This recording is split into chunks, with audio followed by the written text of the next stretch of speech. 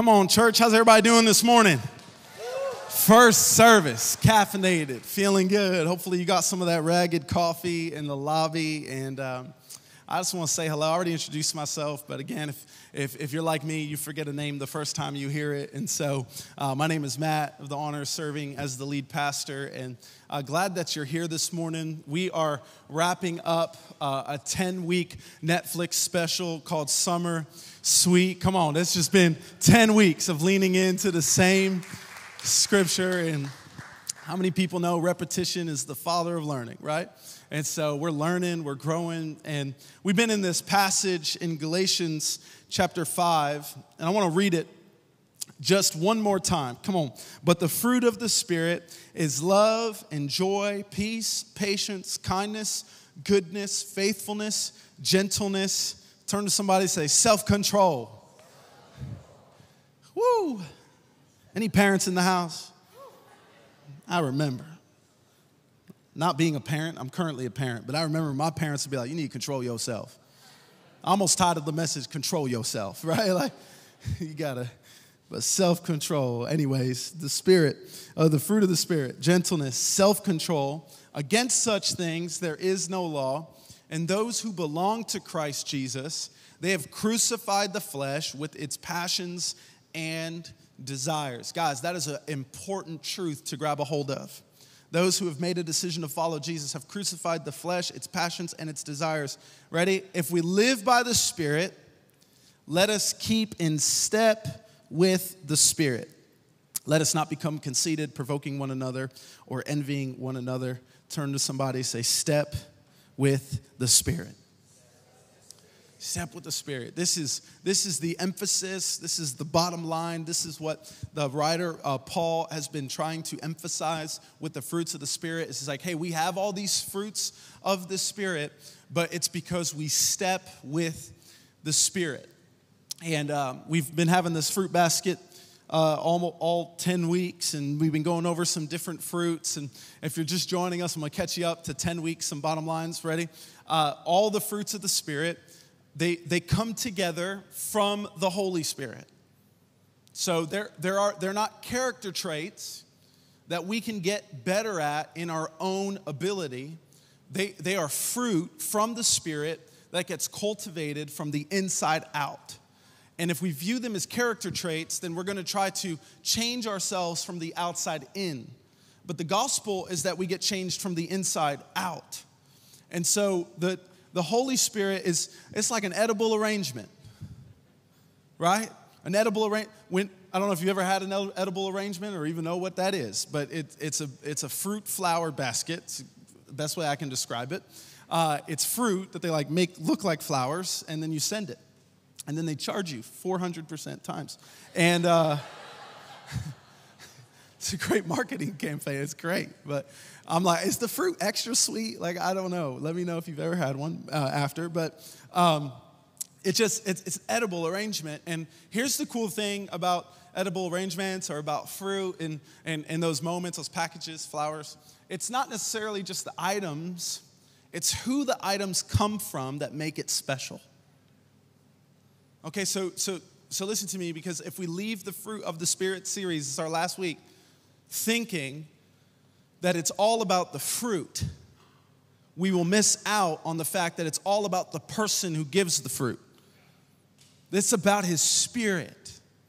And when his spirit comes, there are some things that happen called the fruit.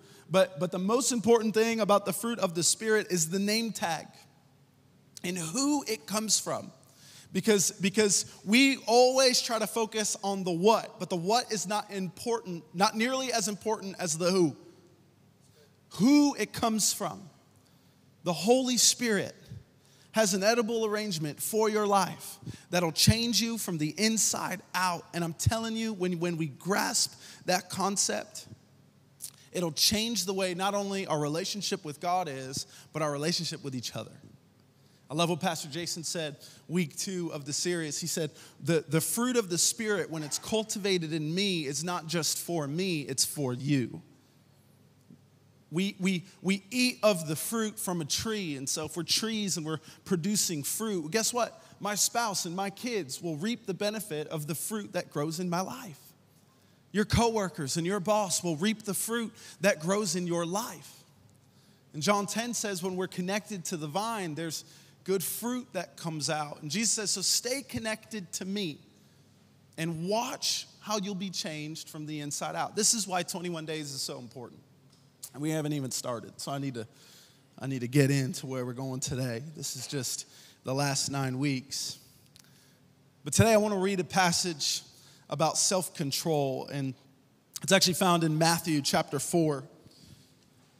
I'm going to read about Jesus and the example that he set, but he set an example early in his ministry. He, he, he was baptized, and in this moment in Matthew chapter 4, he's stepping into his call. We, we know that Jesus is God and man. We know he died on the cross and he rose again from the grave, taking all the sin of the world so that we could be made new. Like everything Jesus did is how Paul could write You've, You're dead to your old self, and you've been born again in a new self. But before any of that happened, Jesus went through this moment. And the Bible calls it the temptation of Jesus. How many people know we need some self control because there's also someone called the tempter? He wants to tempt you, he wants to distract you, he wants to sell you counterfeit fruit, wax fruit. He wants to, he wants to sell you lust instead of love. He, he's, for every single one of these fruit of the Spirit, the enemy, Satan, has a wax fruit of his spirit. He wants to tempt us away. And the good news is Jesus already defeated the tempter. We're going to read that in verse 1. It says, Then Jesus was led up by the Spirit. By who? Spirit. By the Spirit. Jesus was led up by the Spirit because in order to have the fruit of the Spirit and to carry the fruit of the Spirit, we got to walk with the Spirit. So he was led by the into the wilderness to be tempted by who? The devil. And after fasting 40 days and 40 nights, he was hungry. Amen. That's just factual, right? He fasted 40 days and 40 nights. What does that mean? That means that means he only had water, if if that, for 40 days and 40 nights. And it says he was hungry. And the tempter came and they said to him, If you are the Son of God, command these stones to become loaves of bread. And Jesus responded, it is written. May you not live by bread alone, but by every word that comes from the mouth of God. Then the devil took him to the holy city and he set him on the pinnacle of the temple. And he said, If you're the Son of God, throw yourself down. Ready? For it is written. Satan knows scripture, y'all.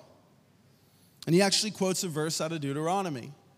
The tempter tempts Jesus with God's word. He did the same thing in the garden, and he could do the same thing to us. See, the first temptation, Jesus responds with the word of God. And the second temptation, so does Satan. He says, If you are the Son of God, throw yourself down, because it is written, as you had said, He will command the angels concerning you, and on their hands they will bear you up, lest you strike your foot against a stone. See, a lot of people think Jesus is weak because he was fasting for 40 days and 40 nights. He wasn't weak, he was more in step with the Spirit after 40 days and 40 nights. And so, this moment, he says, Hey, the scripture says that you won't, your foot wouldn't even strike a stone. Jesus said, Again, it is written, You shall not put the Lord your God to the test. Jesus responds to a scripture misinterpreted with the scripture in the right context. And the devil took him to the very high mountain, and he showed him all the kingdom, kingdoms of the world and their glory. And he said to him, All of these things I will give you if you fall down and worship me. And Jesus said to him, Be gone, Satan. For it is written, You shall worship the Lord your God, and him only shall you serve. Then the devil left him, and behold, the angels came, and they were ministering to him. In this moment, Jesus is, is being tempted by the enemy. And how many people know it takes some self control when you are in front of temptation?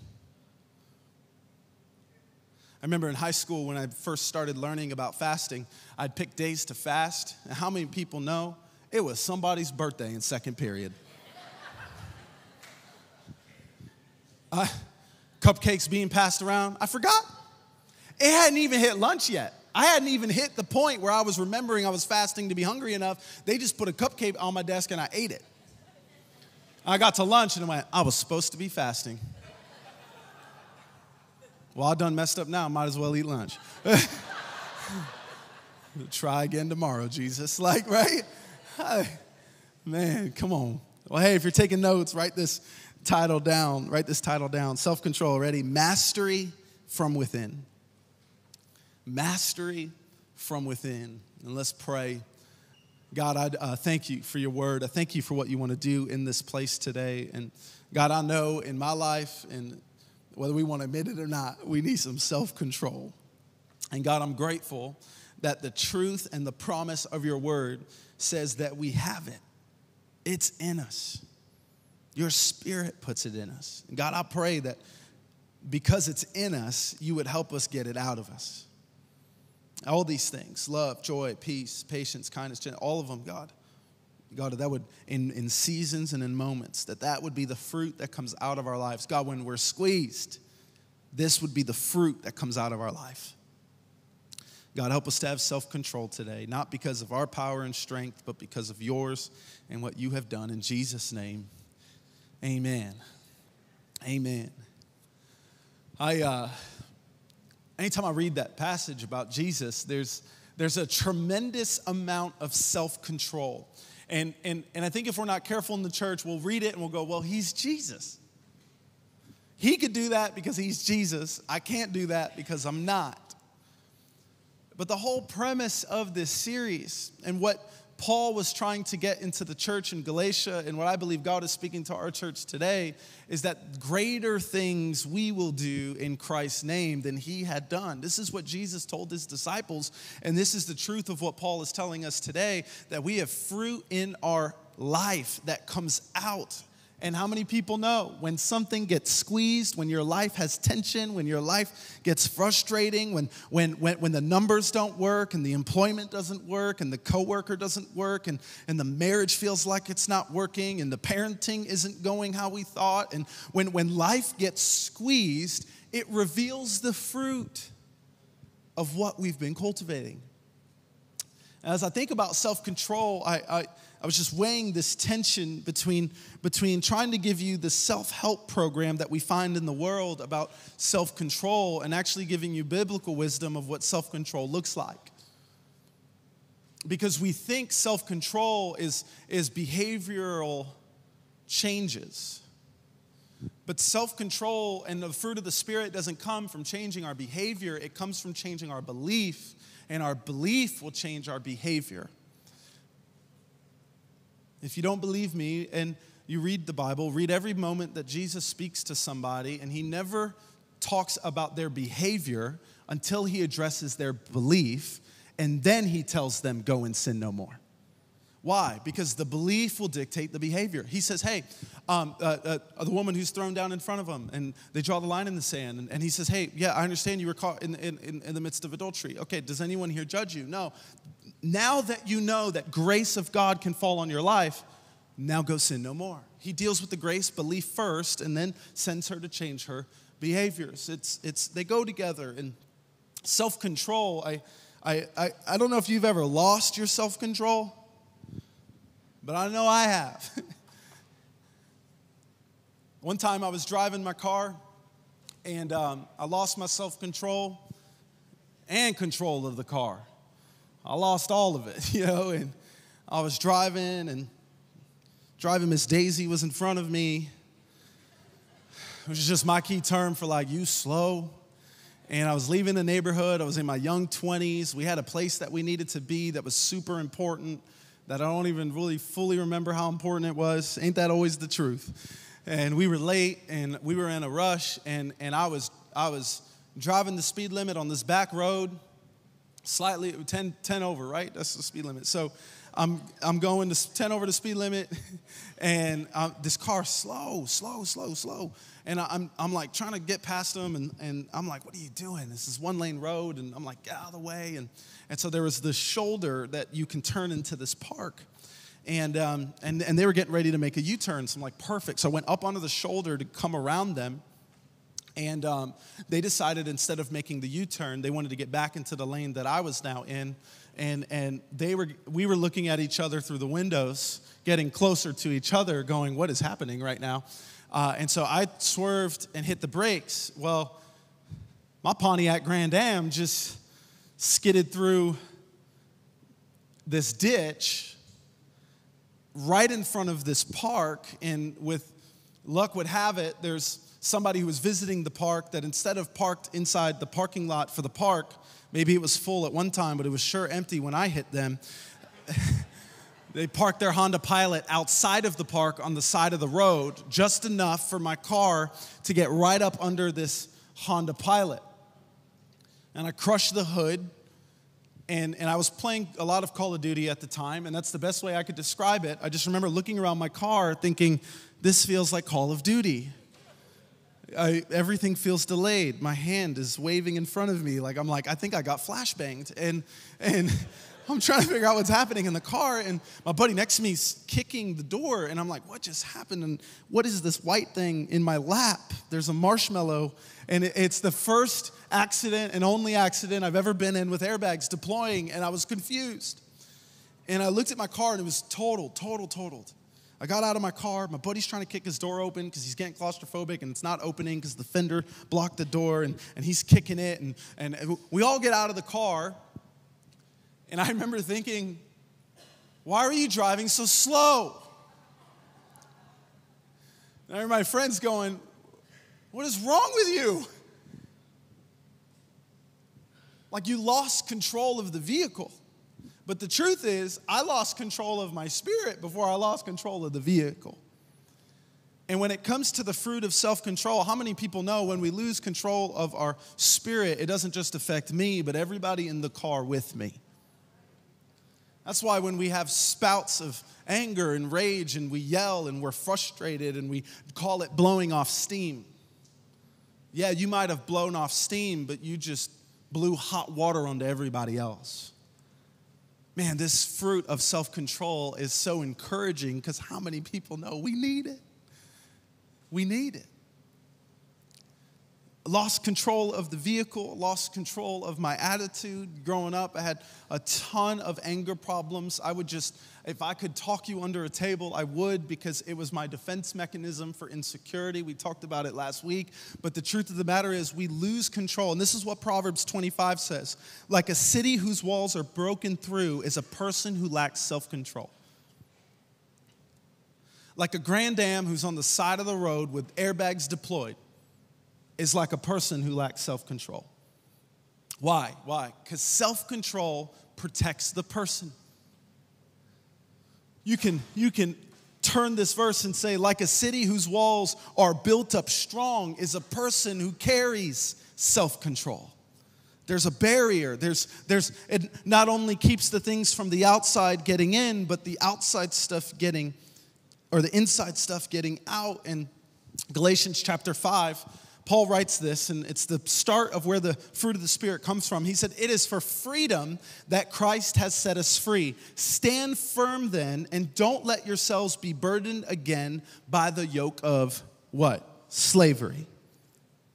Stand firm then. This year, God launched us into a vision called Free at Last.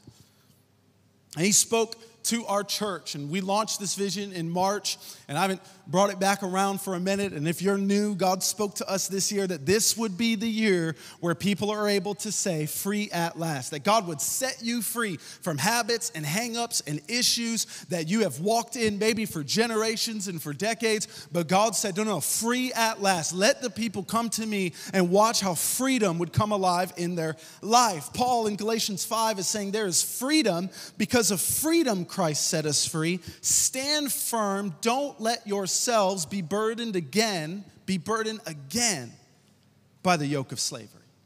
Can I tell you, we have a lot of Christians that don't think they're free. No, no, no. You've been set free when you said yes to Jesus, but you can become burdened again by the yoke of slavery that you were already set free from.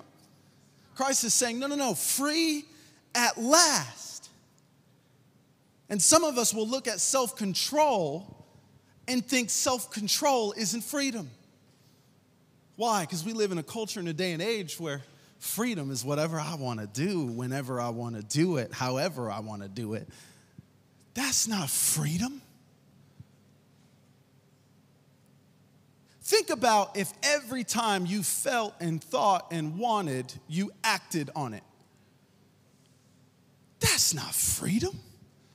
Do you know how many people would not like me today if I thought and said and acted on every impulse and thought and declared, well, it's because I'm free to do what I want? That's not freedom. No, no, no. Self control is freedom. Self control doesn't limit my freedom, it's a signal that I'm actually free. Self control doesn't limit my freedom, it's a signal that I'm actually free. How do you know? Well, because I understand what they said to you. I know they walked by your office and I heard what they said, and it was an improper comment. But if you are not free, you will spout off whatever you think of. But when you have self control, freedom means I have the choice to think better, to say better, to act better. Freedom comes with the fact that I have control or the opportunity to choose something other than my auto response. Self control isn't isn't limiting my freedom, it's actually the signal that you have it. That we have it. Like, has anybody ever lost control? I know you're not going to shout right now. I'm not asking you to. Like, that's me, Pastor. Let's go. I lost control and I yelled. And I know we're not going to do that, but can we just be honest with ourselves in our own seat for a minute? Yeah, I've, I've, I've acted on things maybe I shouldn't have. I've said things maybe I shouldn't have. Well, the good news is that the Spirit has this signal, has this fruit that'll change your life. That's called self control. And when we connect to Jesus, when we connect to His Spirit, I'm telling you, something changes on the inside of us that you can't fully explain with words. But I've watched people and I've, I, and, and I've, I've shared with people, like, man, I used to be so angry, and, and I'd just yell at people, and I'd get in their face, and, and, and I'd, I mean, in high school, I was telling the interns this last week, in high school, uh, I, I, I, I, put on some size because I started working out, and um, I remember I would walk in a straight line and watch people get out of my way. Like, how prideful is that? But I would walk, I would walk in a straight line and watch people get out of my way because, because I, I, I I needed to feel this superiority or this like I so I, I share those stories and people are like, there's no way, man. Like I you making that up. And I'm like, no, it's because who I am now is not who I used to be. The old me is gone and the new has come. And I look back at my old life and I look at the new one that Christ has given me and even I don't get it. Is anybody grateful for a God that changes who you used to be and works something on the inside of you and makes you something new? Like, this is good news for people. Like, I'm not who I used to be. I don't have to identify with my old angry self. Like, Jesus has made me new. There's this fruit of self control that I didn't think would actually come out of my life, but it's, I, I see it there. What does that mean? What is this fruit of the Spirit and self control as we close out this series? What does it mean? If you write this thought down, I will walk with what I'm led by. Listen to me. I will walk with what I'm led by. Verse 3 says, The tempter came to him, and he said, if you are the Son of God, then tell these stones to become bread. Jesus said, It is written, Man shall not live by bread alone, but on every word that comes from the mouth of God. That's actually Deuteronomy chapter 8, verse 3. Jesus uses the Old Testament to combat Satan here. Satan comes to tempt him. Why? Because it says Jesus was hungry.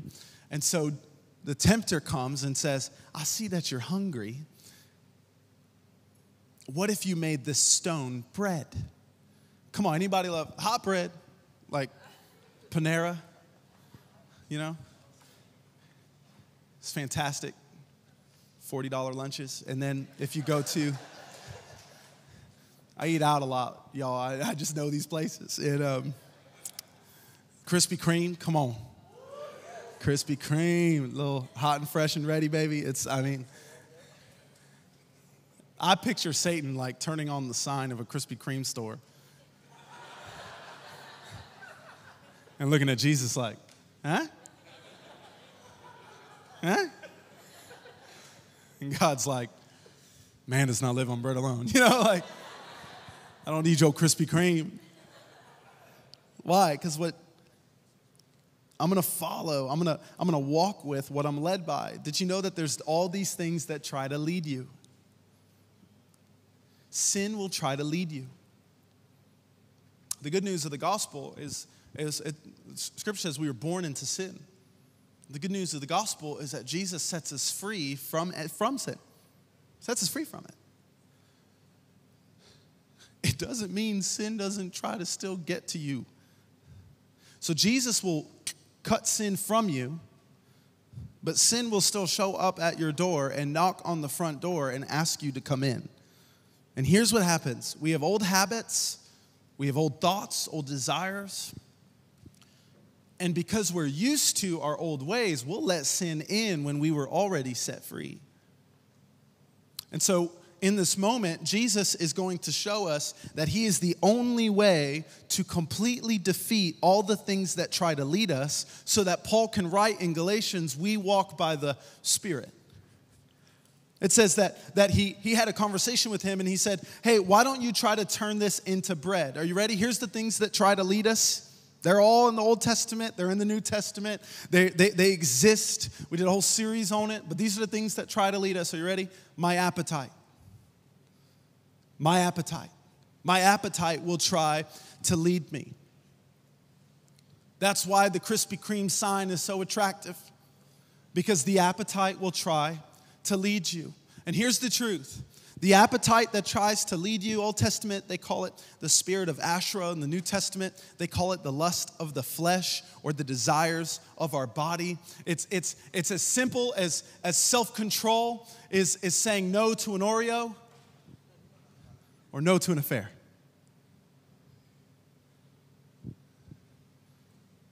It's it's an appetite. It's, a, it's I don't even know. I just kind of want it, and I just want to go this direction. It, but self control is the fruit of the Spirit. And when we walk with the Spirit, it comes out of us and it goes, I'm going to say no to the Oreo today, sir. I'm going to say no to the affair. I'm going to say no to the gossip. I'm going to say no to the flirting. I'm going to say no to the phone number. I'm going to say no to the website. I'm going to say no. Self self control. Well, how do you know you're free? Well, you can say no to things that your flesh would say, go for. Your appetite, your appetite is trying to lead you. Look, I, I have this thing in here. Because whatever we hook to, we're led by. And so, and so what happens is we might have an appetite. We might have an, an appetite. And I'm, a, I'm, a, I'm being led, I'm being attached to my appetite. Here's what we think freedom is. Well, I can tell my appetite what to do. But the truth of the matter of sin is that this baby will drag you through the mud. And it might feel small to you because it's an Oreo, or it's a text, or it's a conversation or a phone number. It's a conversation about somebody that they weren't here, and I felt a little bit about it because I think it's gossip, but and, and, and our appetite, our appetite will try to lead us. And what Satan used to try to tempt Jesus was his appetite. He said, I bet you're hungry right now. He said, he said, Yeah, I am. That's not coming off. So, he said, Well, why don't you make it some bread? Okay. Jesus says, No, no, no. We don't live on bread alone, but on every word that comes from the mouth of God. You want to know how to, how to get self control? We've been saying it for 10 weeks.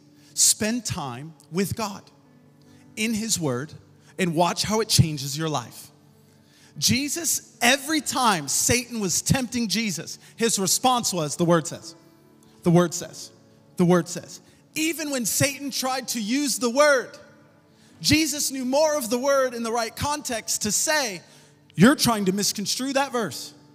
And the Word also says. Why? Because sometimes the enemy will use half of a word. That's why Jesus says, Yeah, but the Word also says. See, I don't know just part of it. I don't know just the ones that I like. I don't just look up the verses that are that are important to me at the time to try to to try to do what I want to do. Anybody ever follow my appetite? Let me find some verses that'll prove why this is okay.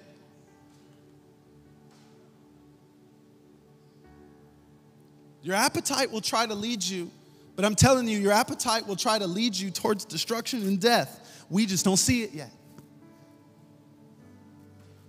Here's another thing that tries to lead us.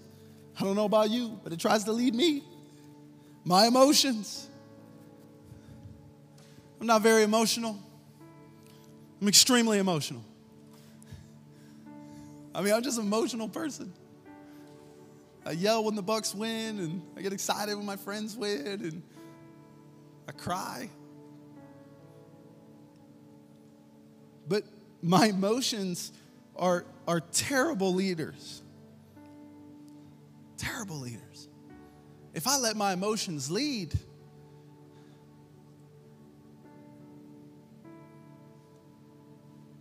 where would they lead me?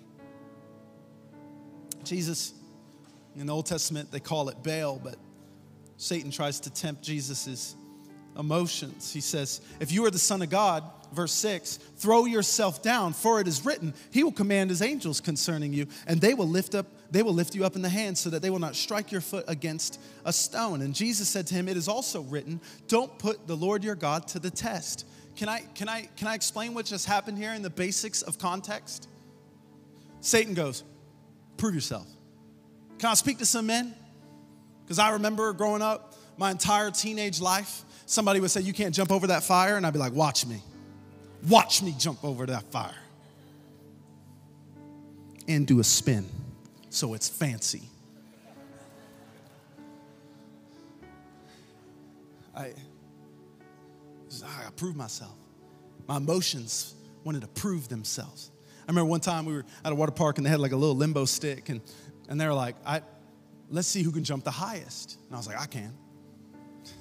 And we just kept moving this little limbo. We kept jumping over. We did the reverse. We kept jumping over the limbo stick. I felt so proud of myself knowing that I could jump over it. Why? Because my emotions were leading me to prove myself to everybody.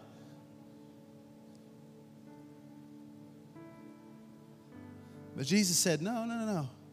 I don't need to prove myself to you because it also says, Don't put the Lord your God to the test. So, yeah, our, our, our emotions will try to lead us, our appetite will try to lead us. Here's the third one. Ready? My eyes will try to lead me. Paul wrote that it's the lust of the eyes. The Old Testament called it the spirit of mammon. It's, it's, it's part of greed. I, I, I need more. I want more. If, if I had more, then, then things would be better. Things, things would feel better if I had more sleep than if I had less sleep. It, it would be awesome if we had more money. Come on, somebody.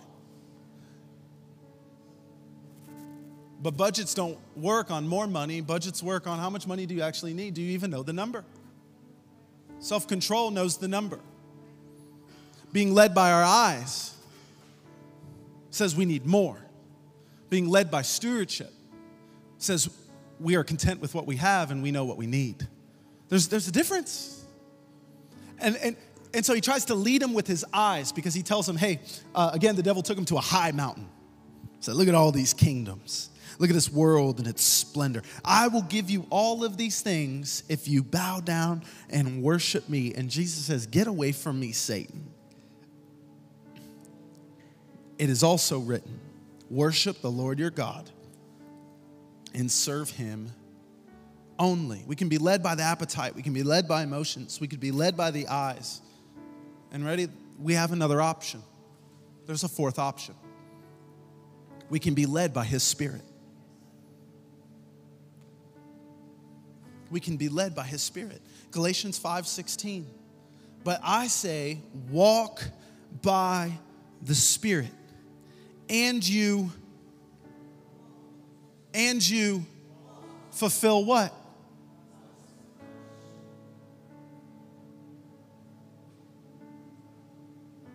What is the whole point of the fruit of the Spirit? Is that there is a Spirit that has sent you a basket that will open up in your life, that will come out of your life and through your life and into others because we are led by the Spirit. What does it look like to be led by the Spirit? Where's Drew? He around here somewhere. Drew, come up here, run. Okay.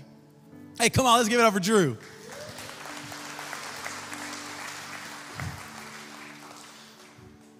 Drew's a good friend of mine. Here. Stand on this side of me. And then hook that to you. I don't know. We might be up here for the rest of the service together. okay. Here's the truth we're all connected to something. Bible calls us sheep. Jesus says they looked on them because they were like sheep without a shepherd. That means we follow something. Some of us follow our appetite, some of us follow our emotions, some of us follow somebody else. So God already knows we were wired and designed and created in His image, but we are also wired, designed, and created to follow. We're, we're, we're led.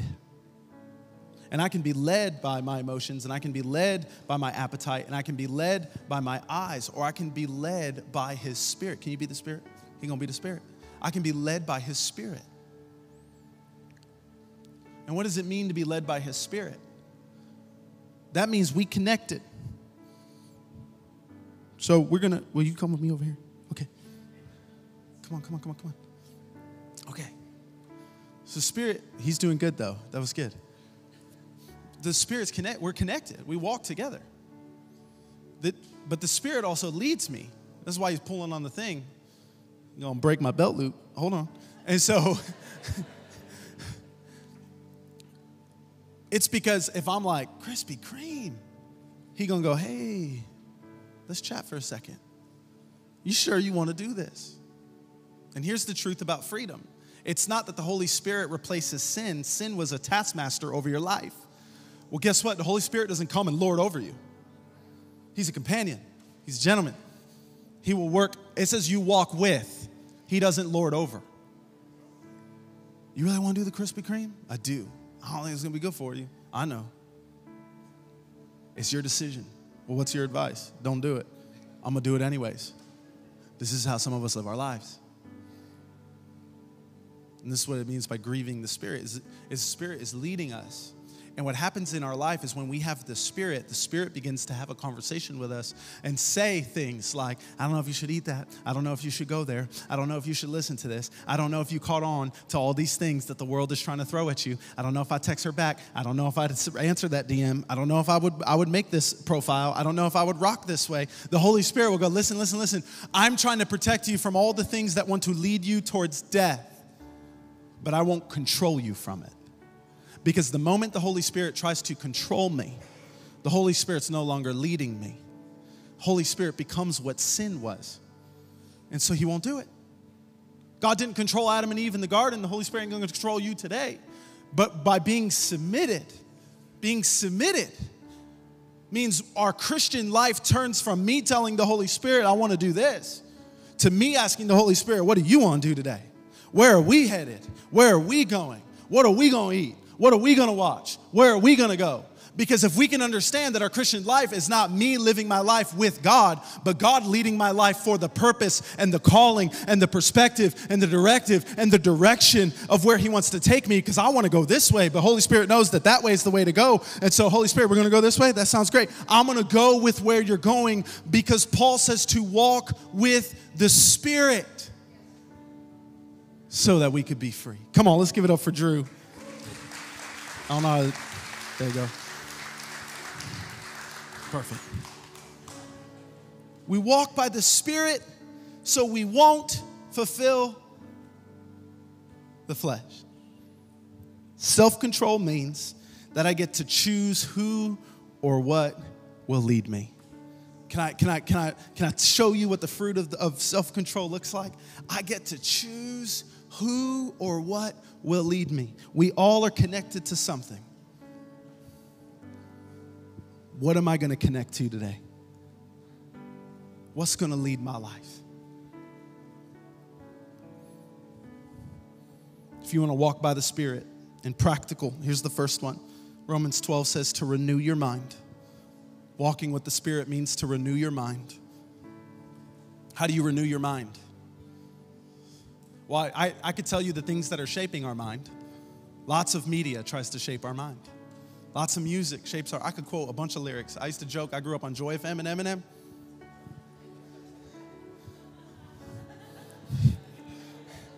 Like, how you doing? I'm good, bro. I grew up on Joy FM and Eminem, baby. I, I could quote both lyrics. I could quote "Lose Yourself" and "Gratitude."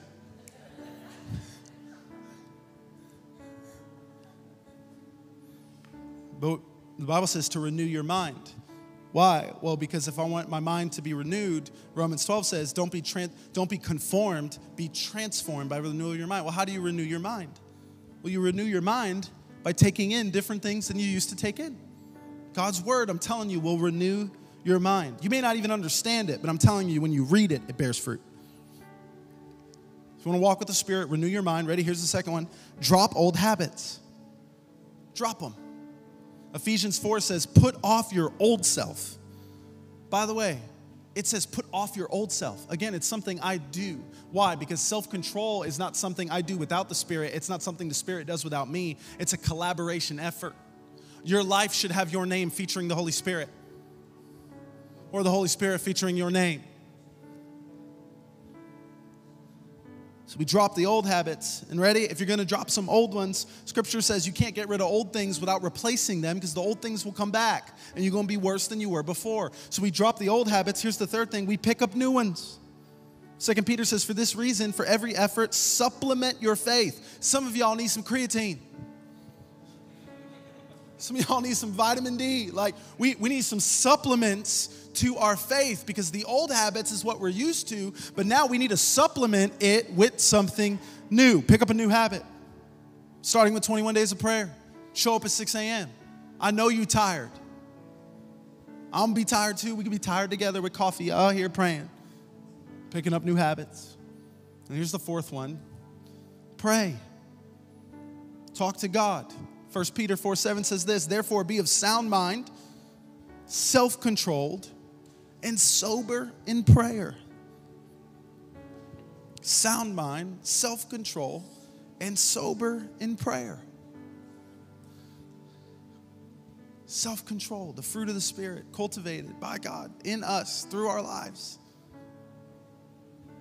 Not a character trait for us to muscle our way through, but a relationship with a God that loves you, that wants to lead you, and knows what's best for you. Come on, can we pray? Every head bowed, every eye closed. If you're in this place and I want to pray for two groups of people. We always give an invitation for anybody who would like to make a decision to follow Jesus because I'm going to tell you if you want the fruit of the Spirit, the first thing you need is the Spirit. And Jesus says, Nobody comes to the Father except through me. Paul writes it that if we confess with our mouths and believe in our hearts, we would be saved. And so there's not a lot for you to do, but there is a whole lot to believe, and what you believe will dictate how you behave. And today could be the day, whether you're in this place or online, where you're saying, I believe that Jesus died for my sin and rose again from the grave to make me a new creation. I'm done with my old life and I need a new one. I need this Holy Spirit. I need the fruit. I need some self control. If that's you today, you're going to have that opportunity. But I believe there's believers in the room that are saying, man, I need to unhitch from some of the things that have been leading my life, and I need to listen and hitch myself to a spirit that wants to lead me towards life. If that's you, you're saying, man, I need to, I need to hitch to the spirit today. I need some self-control today. I, I, just put your hand up, put it right back down because I want to pray for you. Yeah, I see that.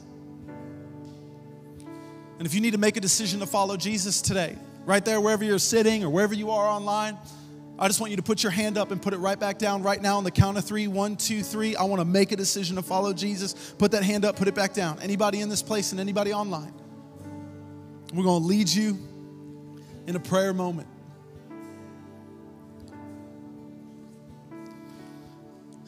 Father, I pray for all of those that are in here today that are saying, God, I need some self control. I need that fruit to come out of my life. God, I pray that you would use them in a strong and mighty way today. God, I pray that you would fill them, that they would be more aware of your calling and your leading, Holy Spirit, in their life. God, that you would cultivate the fruit of self control out of them and that the other people will benefit from what you're doing in their life. God, we need it, we want it, we love it, and we're grateful we have access to it. And so, God, let that come out of our life today. And if you made a decision to follow Jesus, just pray this out loud and you believe in your heart and confess with your mouth. The Bible says you would be saved. So just say this say, Jesus, today I make a decision to follow you. I give you my life. I make you the leader of my life. I believe that you died on the cross and you rose from the grave, and that by that I could be made new. And so I give you my past and my present and my future. Make me new from the inside out. In Jesus' name. Amen. Hey, thank you for watching our GrowLife Church YouTube channel. Our hope is always to help you better connect to all that God has for you. Subscribe to this channel so you don't miss a thing. Fill out a digital connect card so that we can stay connected with everything that's happening in and through our community. You can also support the mission by giving online as we continue to bring people into a growing relationship with Jesus. Thank you again for watching. We hope to see you soon.